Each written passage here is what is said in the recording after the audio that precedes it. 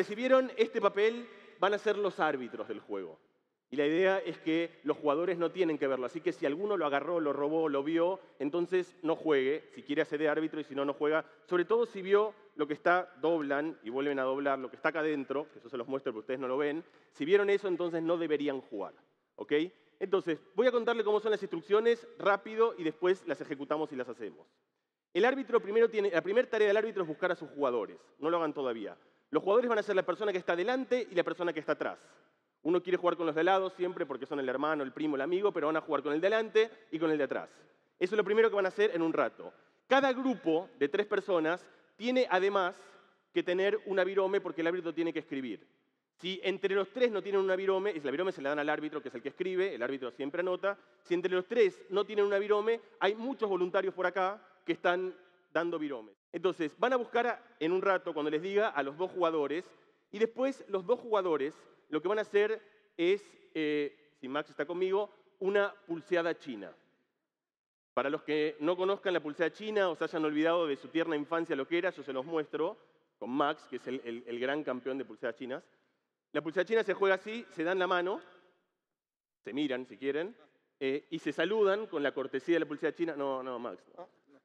Se saludan como uno se saluda en pulseada china, que es haciendo uno, dos, tres, y cada uno trata de apoyar el pulgar sobre el pulgar del otro, y ahí el árbitro cuenta uno, dos, tres, y cuando pasa esto, el que ganó tiene un punto. Y siguen, seguimos, seguimos jugando Max, uno, dos, tres, y seguimos así durante, gracias, está, seguimos así jugando durante un minuto. El objetivo de cada persona, el objetivo de cada jugador es hacer en ese minuto la mayor cantidad de puntos posibles. Y como nos creemos todos, pero el rol del árbitro justamente es testificar que las cosas estén bien anotadas, los árbitros en la planilla van a tener algo así, donde tienen que anotar la partitura de la partida.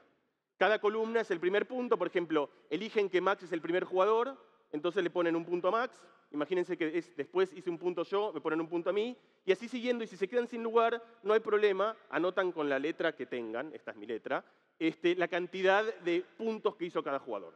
¿Ok? Entonces el árbitro busca a sus jugadores, los jugadores se dan la mano, hacen una pulsera china y el último ingrediente, vamos a empezar ya, el último ingrediente en TDX, nunca hacemos las cosas normales, es que la pulsera china se juega a ciegas, con los ojos cerrados. Y van a ver, van a ver que es encantador tratar de adivinar la posición de su propio pulgar y del del otro sin poder verlo. Esto, por supuesto, es un experimento y no vamos a hacer las cosas tan sencillas. Así que ahora sí, les pido que concentrados y efectivos los árbitros se dan vuelta, agarran a un jugador, agarran a otro jugador, hacemos barullo ahora, se saludan, se presentan, agarran virome, se dan la mano. Tenemos 20 segundos para armar a 10.000 personas, vamos. Van a empezar cuando yo les diga, todavía no empiecen. No empiecen, se dan la mano, le vamos a dar 20 segundos y arrancamos todos juntos.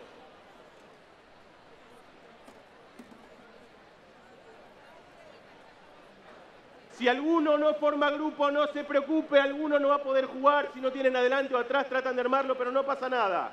Prepárense, vayan armando grupos, los árbitros con virome. En 10 segundos largamos.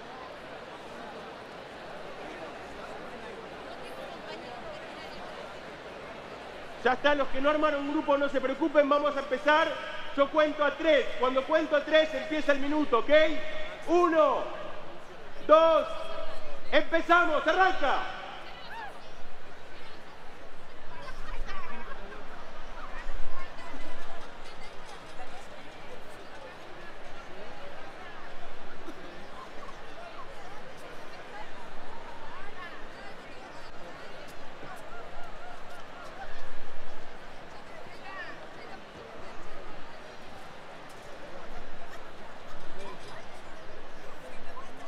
Tiempo, tiempo, paren, pueden abrir los ojos, paren.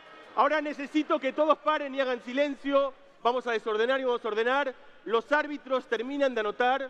Quédense así más o menos parados, pero en silencio los árbitros, pues si yo no me quedo afónico. Los árbitros terminan de anotar y yo le pregunto a los jugadores, levanten la mano aquellos que hicieron por lo menos, por lo menos dos puntos. Levanten la mano. Ok, hay algunos, algunos campeones. levanten la mano los que hicieron por lo menos cuatro puntos. Muy pocos, muy pocos llegan al nivel máximo, casi hay poquitísimos entre los 10.000. Ok, terminamos el primer set, vamos a hacer otro, pero antes de hacer otro, se quedan como están, van a volver a jugar de vuelta. yo les vuelvo a recordar exactamente las instrucciones que le di del juego, que es que cada jugador tiene que tratar de hacer la mayor cantidad de puntos posibles. Por si esto no fuese suficientemente claro, les recuerdo que esto no quiere decir que tienen que hacer más puntos que el otro. No quiere decir que cada vez que pierden tienen que sentirse mal o que restan punto. No quiere decir que tienen que hacer más puntos que los demás. Cada persona tiene que pensar cómo hacer, y a lo mejor la manera de hacer eso no es salir a matar al otro, tienen que pensar entre ustedes cómo hacer para lograr el objetivo que tenían. Quizá para eso tengan que colaborar, que cooperar. Adivinen ustedes cómo hacer. Vamos a volver a jugar sobre el objetivo que tiene cada uno de tratar de hacer la mayor cantidad de puntos posibles. No importa si el otro también hace mucho, no importa si todo el mundo hace mucho, lo que quieren es hacer muchos puntos posibles. Vamos a arrancar, se arman de vuelta sobre esta premisa y vamos a jugar de vuelta. Uno, dos, arrancamos, minuto.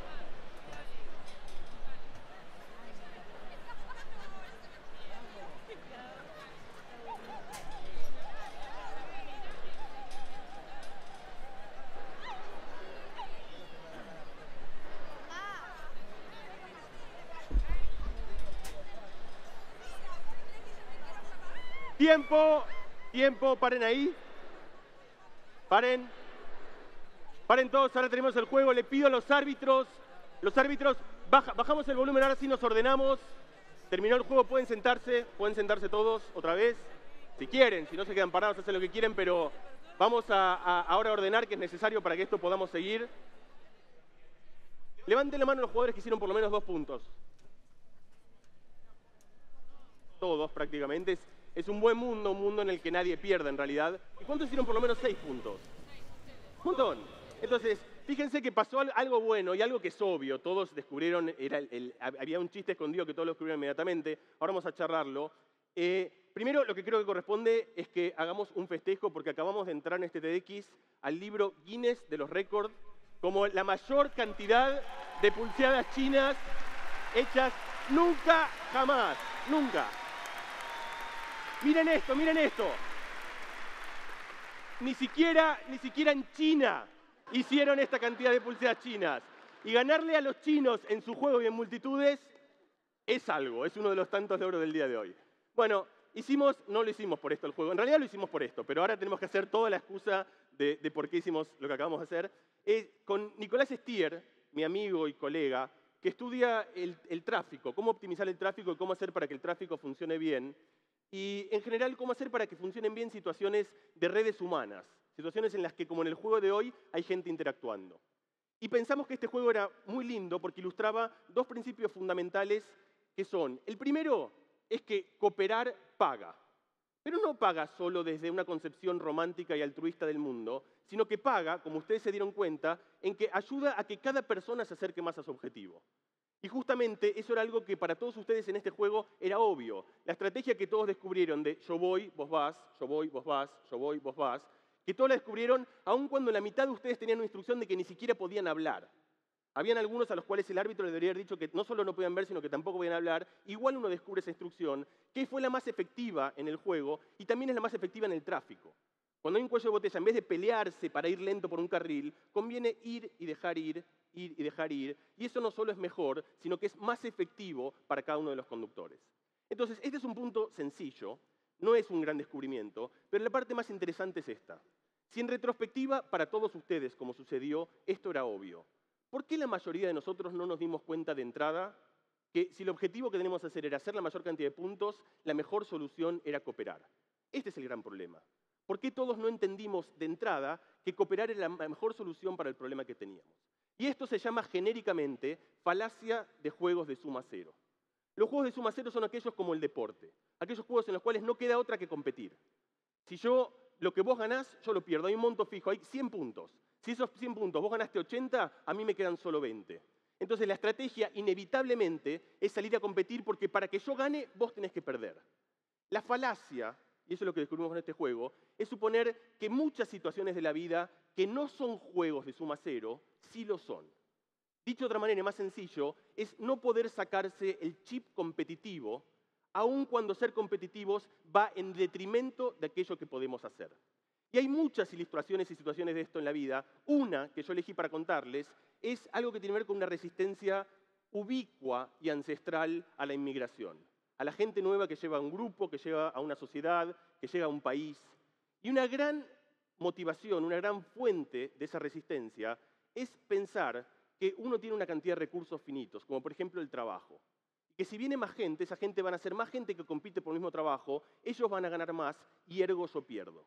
Esa falacia es la misma falacia que nos hizo en el primer juego nosotros salir a competir contra el otro, porque no es cierto de ninguna manera que la cantidad de trabajo en una economía sea constante. La economía fluctúa y con eso fluctúa la cantidad de trabajo, o sea que no es un juego de suma cero y por lo tanto competir puede no ser la mejor de las estrategias. Y en el juego que hicimos nosotros acá, no peleábamos de alguna manera por el trabajo, tampoco por el dinero, el recurso limitado era el tiempo. Teníamos un minuto y lo que aprendimos, lo que todos ustedes aprendieron y casi de inmediato, mágicamente, es aprender a socializar el tiempo. Y lo que yo quiero contarles hoy es que para eso no tenía, la, razón por la cual la gente no coopera no es porque uno no tenga predisposición a cooperar, sino porque el lenguaje es opaco. Aun cuando la instrucción sea clara, tienen que hacer la mayor cantidad de puntos posibles, eso no filtra. Uno no escucha todo el tiempo lo que le están diciendo. Entonces el experimento fue sobre el lenguaje y el tiempo, y aquí en este, este espacio que está el Experiments, donde siempre hacemos dos juegos.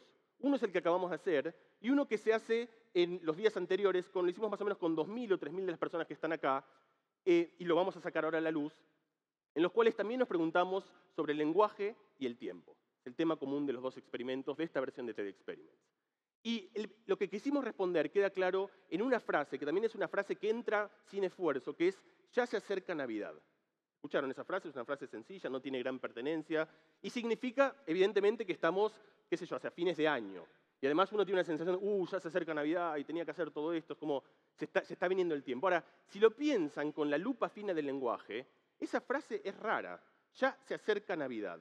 ¿De dónde? de Chile, de San Francisco, de Luján, de California. ¿Dónde está la Navidad? Y en realidad lo raro es que la Navidad no está en el espacio, la Navidad está en el tiempo. Y lo que uno indefectiblemente no puede hacer, y ahí aparece el lenguaje, es pensar que el tiempo, además de estar en el tiempo, está en el espacio. Y no solo eso, sino que casi todos nosotros tenemos también un estereotipo, una manera de pensar, en la cual suponemos que el futuro está delante, porque uno avanza hacia el futuro. Y la Navidad se acerca como si fuese viento que viene a la cara rápida, más porque Navidad viene, ya, estoy ahí. Es como, o uno está atravesando una pared, la pared de un deadline que tiene que resolver algo y que está al borde de atravesarlo. Entonces, es como que casi evidente, por eso el lenguaje es así, que el futuro está delante y el pasado está atrás. Bueno, eso no es así. No es así para todo el mundo. Por ejemplo, los aymaras, un pueblo originario de América del Sur, que está acá, en Argentina, está en Chile, está en Bolivia, está en Perú, y que son tres millones de personas, tienen un lenguaje que de manera exquisita y preciosa asocia el tiempo y el espacio de otra manera. Para los aymaras, la palabra naira significa pasado, pero también significa adelante. Y la palabra kipa significa futuro, pero también significa atrás. Es decir, que cuando ellos hablan, hablan al revés que cuando nosotros hablamos en castellano, poniendo naturalmente el futuro atrás y poniendo el pasado adelante. Y esto parece raro para casi todos nosotros porque otra tenemos un, chip, tenemos una manera de pensar, pero cuando ellos lo explican es tremendamente natural. Lo que los aymaras dicen es lo siguiente, fíjense qué manera más preciosa de pensar el tiempo. Dicen, lo único que uno conoce, y ergo lo único que uno ve, lo único que los ojos ven, es el pasado. El pasado es aquello que yo sé, es aquello que mis ojos ven. Muy lejos, allá a lo lejos, está el pasado más, lejano, borroso, que lo veo de manera tenue. Mucho más cerca, acá cerca a mis ojos, está el pasado reciente. Y atrás está lo incierto, el futuro, lo que mis ojos no ven. Y de hecho, los aymaras recorren el tiempo caminando marcha atrás. Y cuando caminan marcha atrás, aquello que es futuro e incierto se va convirtiendo en lo visto, se va convirtiendo en el pasado. Los aymaras piensan el tiempo al revés que nosotros y nosotros hicimos un experimento para entender cómo cada uno de nosotros, los que estamos acá en este espacio, representamos el tiempo. Y para eso hicimos un juego muy sencillo en el que les pedimos que hagan tres círculos. Un círculo es el pasado, otro círculo, fíjense que yo lo hice a la izquierda, otro círculo es el presente y otro círculo es el futuro. Cada uno lo hacía como quería, del tamaño que quería, del radio como quería, y con eso, en un lenguaje simple y geométrico, estaba expresando cómo conceptualizaban el tiempo. Y el resultado de eso, con mi amigo Mariano Sardón, con el que convertimos estas cosas en visualizaciones, es este esqueleto del tiempo. Lo que ven es algo que a mí se me hace como una suerte de mariposa, en la cual emerge naturalmente a la izquierda el pasado, en el centro el presente y una a la derecha de la mariposa que es el futuro. Pasado, presente y futuro es el esqueleto con el que nosotros representamos en el tiempo y es sencillo, tiene que ver con que nosotros escribimos y avanzamos en el tiempo de izquierda a derecha, lo que fuerza una representación del tiempo. Sobre este esqueleto hay maneras muy coloridas, interesantes del pensar el tiempo, y quiero hablarles de tres clases. Tres maneras que nosotros, los que estamos acá, tenemos de pensar el tiempo. Los primeros son los que yo llamo los cosmocéntricos. Son aquellos que para mí piensan el tiempo, yo les pongo tres, pero son muchísimos, hay, hay decenas y cientos de estos, que piensan el tiempo desde una perspectiva universal, de una perspectiva física, donde el presente es efímero. Esencialmente no hay presente, lo único que hay es hay futuro enorme, un infinito, y hay un futuro de pasado para el otro lado. Y de hecho, el presente está en el centro del tiempo. También hay, hay cosmocéntricos que son más optimistas, para los cuales el presente es efímero, pero entienden que el futuro queda mucho más futuro que pasado. Y hay algunos pesimistas, los hay también, que en el tiempo universal entienden que el presente es efímero, pero que estamos mucho más cerca del fin que del principio del tiempo. Y después están, estos son los cosmocéntricos, son una clase, somos unos, algunos que pensamos el tiempo así, y están los contrarios, que yo los llamo de manera bastante simple los ahora-céntricos. Los ahora-céntricos son aquellos que piensan el tiempo desde el relato subjetivo en realidad. Ustedes me dirán, bueno, el presente es efímero, pero yo lo único que conozco es el presente. Es, todo el tiempo habito en el presente. Entonces, desde esa perspectiva del habitáculo subjetivo, el presente lo es todo. Y el futuro y el pasado son pequeños satélites que adornan y que nutren ese presente. Y de hecho, el, cosmos, el, el máximo es este, para el cual el presente y el futuro viven literalmente adentro del presente. Es decir, lo único que existe es el presente. Y el tercer grupo y último que quiero mostrarles son estos, de los cuales de vuelta ven algunos ejemplos, pero son muchos, somos muchos también que somos así, que representan el tiempo cada uno de manera distinta, algunos más estirados, otros más elongados, otros más concéntricos, otros más para arriba, más para abajo, pero todos coinciden en que el futuro es más grande que el pasado. Y siguiendo la notación que yo había elegido, pensé llamar a estos futurocéntricos, me parecía un término bastante adecuado, hasta me di cuenta que además de pretencioso era raro porque tienen un nombre mucho más sencillo. Esta gente es joven. La gente, la gente que hace estos círculos es la gente joven que naturalmente desde su perspectiva de vida, no ya del tiempo universal, sino de la concepción del tiempo, del tiempo de nuestras propias vidas, entienden que tienen un futuro amplio, un futuro vasto, mucho más vasto que el pasado, porque recién están empezando la aventura de la vida. Muchas gracias.